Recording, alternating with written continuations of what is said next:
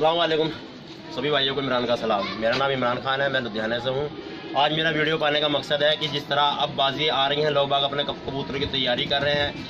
कोई आज कोई बड़ी बात बताने वाला नहीं छोटी सी बात बता रहा हूँ मैं, जो तकरीबन 80 परसेंट लोगों को मालूम है कि कबूतरों को बाजी से पहले उनका पेट साफ़ होना बहुत ज़रूरी है। मतलब कबूतरों के जैसे मल्लप या कीड़े पड़ जाते हैं। ठीक है, उसमें जो दवाई दी जाती है, वो कौन सी है और किस तरह देनी चाहिए, वो मैं आज आपको बताऊँगा। पिपरा जी ने ਲਿਖ ਰਿਹਾ ਨਾਮ। ਪਿਪਰਾ ਜਿੰਨਾ ਹੈ, ਇਸ ਤੋਂ ਪਹਿਲਾਂ ਇੱਕ ਆਉਂਦੀ ਆ ਐਲਬੈਂਡਾਜੋਲ ਇਹ ਦੇਣੀ ਕਿਸ ਤਰ੍ਹਾਂ ਮੈਂ ਤੁਹਾਨੂੰ ਇਹ ਦੱਸਦਾ ਵਾਂ, ਇਹ ਨਹੀਂ ਦੇਣੀ ਪਹਿਲਾਂ, ਇਸ ਤੋਂ ਪਹਿਲਾਂ ਦੇਣੀ ਐਲਬੈਂਡਾਜੋਲ ਆਉਂਦੀ ਆ ਸ਼ੀਸ਼ੀ 10 12 ਜਾਂ 15 ਰੁਪਏ ਦੀ ਆਊਗੀ। ਪਹਿਲਾਂ ਆਪਾਂ ਉਹ ਦੇਣੀ ਆ ਕਬੂਤਰਾਂ ਨੂੰ। ਜਦੋਂ ਦੇਣੀ ਆਪਾਂ ਕਬੂਤਰ ਸਵੇਰ ਨੂੰ ਭੁੱਖੇ ਰੱਖਣੇ ਆ ਜਿਵੇਂ 11 12 ਵਜੇ ਕਬੂਤਰ ਆਪਾਂ ਖੋਲਣੇ ਆ, ਕੁੰਡੇ 'ਚ ਐਲਬੈਂਡਾਜੋਲ ਦੀ ਜਿਹੜੀ ਆ ਪੂਰੀ ਸ਼ੀਸ਼ੀ ਪਾ ਦੇਣੀ ਆ। ਸਾਰੇ ਕਬੂਤਰਾਂ ਨੂੰ ਖਾਲੀ ਢਿੱਡ ਪਾਣੀ ਪਿਆਣਾ ਵਾ ਤੇ ਇੱਕ ਘੰਟਾ ਰੁੱਕ ਕੇ ਫਿਰ ਦਾਣਾ ਪਾਣਾ ਆਪਾਂ।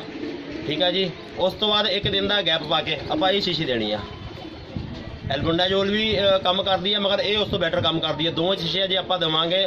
ਤਕਰੀਬਨ ਕਬੂਤਰ ਦੇ ਢਿੱਡ 'ਚ A to Z ਸਾਰੇ ਮਲਪ ਨਿਕਲ ਜਾਣੇ ਆ। ਪਹਿਲਾਂ ਆਪਾਂ ਐਲਬੰਡਾਜੋਲ ਦੇਣੀ ਆ। ਐਲਬੰਡਾਜੋਲ ਜੋਲ ਦੇਣ ਤੋਂ ਅਗਲੇ ਦਿਨ ਆਪਾਂ ਆਪਾਂ ਇਹ ਸ਼ੀਸ਼ੀ ਦੇਣੀ ਆ। ਇਹ ਸ਼ੀਸ਼ੀ ਆ ਜਿਹੜੀ ਪੂਰੀ ਦੀ ਪੂਰੀ ਸ਼ੀਸ਼ੀ ਆਪਾਂ ਕੁੰਡੇ 'ਚ ਪਾ ਦੇਣੀ ਆ ਇਹ।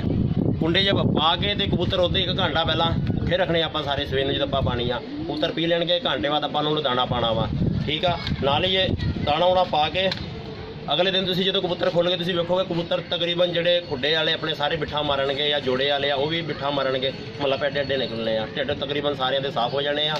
ਤੇ ਇਹ ਤਕਰੀਬਨ ਸਾਡੇ ਵੀਰਾਂ ਨੂੰ, ਸਾਰਿਆਂ ਨੂੰ ਪਤਾ ਵਾ। ਮੇਰਾ ਵੀਡੀਓ ਪਾਉਣ ਦਾ ਮਕਸਦ ਇਹੀ ਸੀ ਕਿ ਜਿਹੜੇ ਆਪਣੇ ਬੱਚੇ ਕੁਚੇ ਸੱਜਣ ਮਿੱਤਰ ਹੈਗੇ ਆ ਬਤੇਰਿਆਂ ਨੂੰ ਬਸ ਇਹੀ ਪਤਾ, ਇਕੱਲੇ ਐਲਬੈਂਡਾ ਜੋਲ ਪਾਈ ਜੋ ਜਾਂ ਜੈਂਟਲ ਗੋਲੀਆਂ ਪਾ ਰਹੇ ਆ ਘੋਲ ਕੇ ਪਾਣੀਆਂ 'ਚ ਲੋਕੀ ਦੱਸ ਦਿੰਦੇ ਆ ਵੀ ਐਲਬੈਂਡਾ ਜੋਲ ਪਾ ਲਓ ਜਾਂ ਜੈਂਟਲ ਗੋਲੀਆਂ ਪਾ ਲਓ, ਇਸ ਸ਼ੀਸ਼ੀ ਦਾ ਤਕਰੀਬਨ ਲੋਕਾਂ ਨੂੰ ਬਹੁਤ ਘੱਟ ਲੋਕਾਂ ਨੂੰ ਪਤਾ ਵਾ, ਜਿਹੜੀ ਪਿਪਰਾ ਜੀ ਨਾ ਇਹ ਤਕਰੀਬਨ ਢਿੱਡ ਦਾ ਸਾਰਾ ਸਫਾਇਆ ਕਰ ਦਿੰਦੀ ਕੀੜੀਆਂ ਦਾ ਸਾਰੇ ਕੱਢ ਦਿੰਦੀ ਆ। ਤੇ ਵੀਰੋ, ਇਹ ਯੂਜ਼ ਕਰਨੀ ਆ ਤੁਸੀਂ, ਠੀਕ ਆ ਜੀ?